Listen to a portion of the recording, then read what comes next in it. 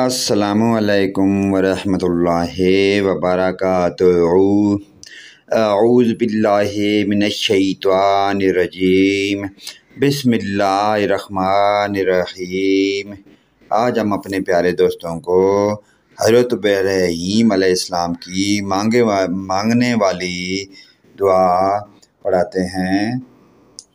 ربنا علیک توکلنا و الیک عنبنا و الیک المسیر اے ہمارے رب، ہم نے تجھی پر بھروسہ کیا اور تیری طرف ہی رجوع کیا اور تیری طرف ہی ہمیں پلٹ کر آنا ہے۔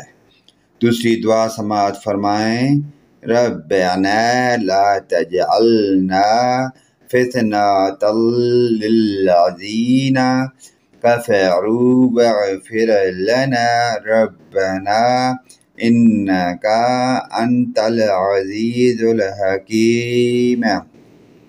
اے ہمارے رب، ہمیں نہ بنا فتنہ کافروں کے لیے اور ہمیں بخش دے۔ اے ہمارے رب بے شک تو ہی عزت والا اور حکمت والا ہے۔ پیارے دوستو، اس پیاری دعیا کلمات کو جو حضرت ابراہیم علیہ السلام نے پیاری سی دعا مانگی، اپنے والدین، رشتہ داروں عزیز و اقارب اور دوست احباب اور اپنے پڑوسیوں عطا کے تمام مسلمان بھائیوں کے ساتھ شیئر کریں۔ اللہ پاک کی ذات ہمیں جزائے خیر عطا فرمائے اور آخرت کی فکر کی توفیق عطا فرمائے۔ آمین۔ ثم آمین یا رب العالمین۔